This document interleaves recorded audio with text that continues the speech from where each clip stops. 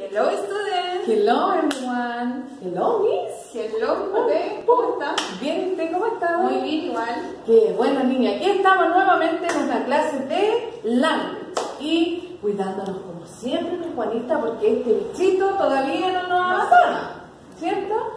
Ya, les vamos a pedir que en primer lugar se ubiquen en un lugar eh, limpio, en una mesita, en un lugar cómodo, con luz natural. Eh, un poquito el boche cuando esté viendo el video porque no se va a concentrar tanto si hay un distractores en el ambiente. ¿Ya?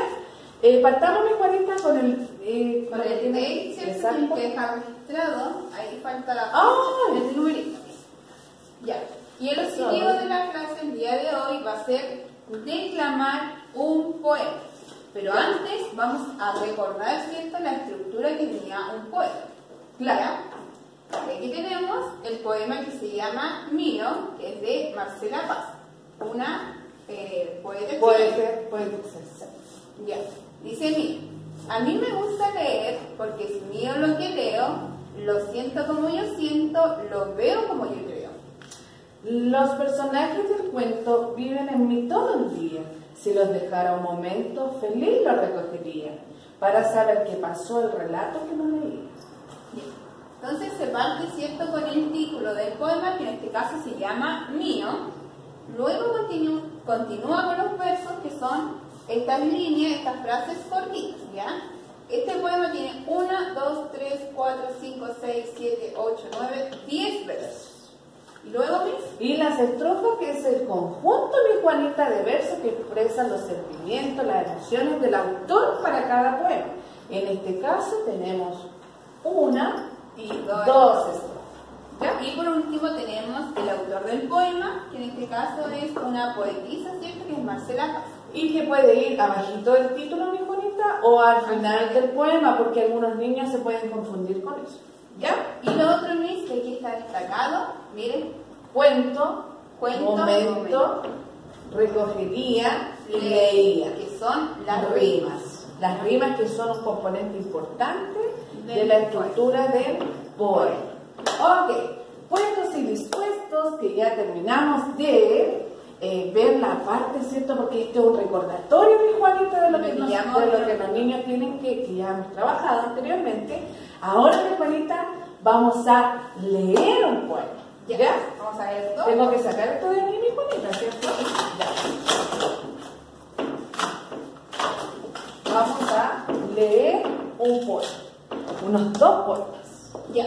El primero, Miss, se llama Juan Copete y su autor es María Hortensia Lacabo. Y esto, esto, mi Juanita, les vamos a decir a los niños que tienen que tener su texto del estudiante de lenguaje y comunicación y en la página 118 va a aparecer el poema de Juan Copete y en la página 119 de la Caracola. Vayan corriendo, corre, corre, corre, corre, porque nos vamos, vamos a leer todos juntos Sí. estos poemas. ¿Ya? Ya, Ya, mi Juanita.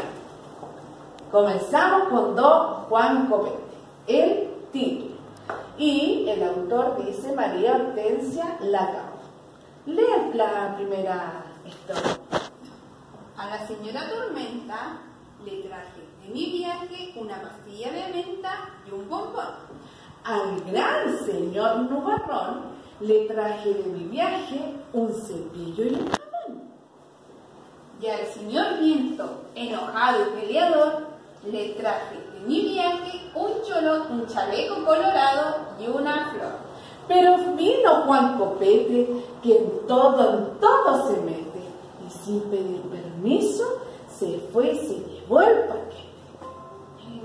Y Oigan, quiere decir Y el poema, Juanita, es lo mismo que leer un cuento.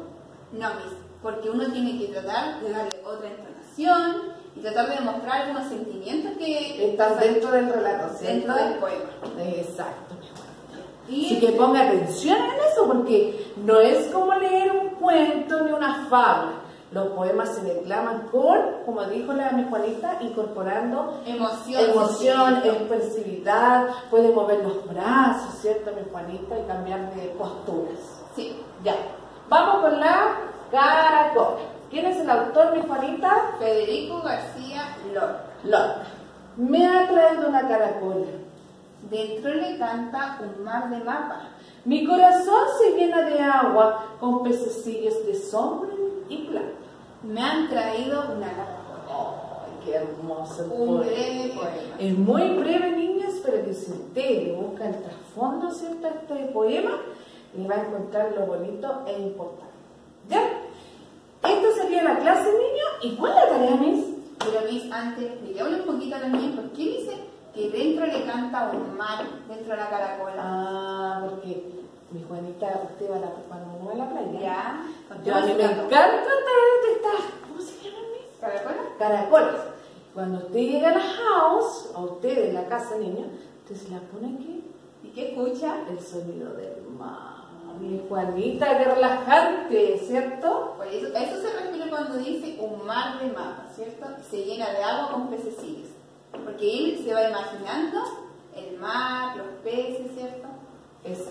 Ya, ahora sí la actividad. Ya, la actividad niña de la clase de hoy es súper entretenida, yo creo, mi Juanita. Va a ser un videíto que usted debe, primero debe investigar un poema Breve. breve, el que más le guste, el que le parezca entretenido, eh, usar, ¿cierto? Su expresividad. Su expresividad y una entonación adecuada para dar a conocer un poema y todo esto dentro de un pequeño videíto O audio.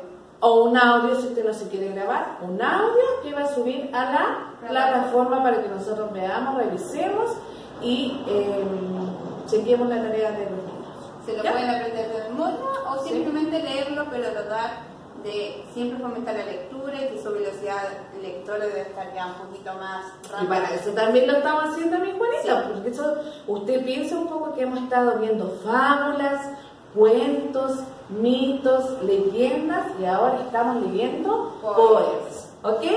Eso niños sería la clase de hoy, les mando un abracito, mucho cariño a los niños de mi Juanita, de Biscoté y recuerde no decaer si está atrasado con las tareas, sino lo importante es que usted vaya poniéndose el día de a poquito para aprender y tener más conocimiento de todas las asignaturas. No sé si usted quiere decir algo Sí, que le envío a ambos cursos igual cariños y abrazos. ¿Cierto? ¿Nos hacemos juntas? Sí. Bye. Bye, children.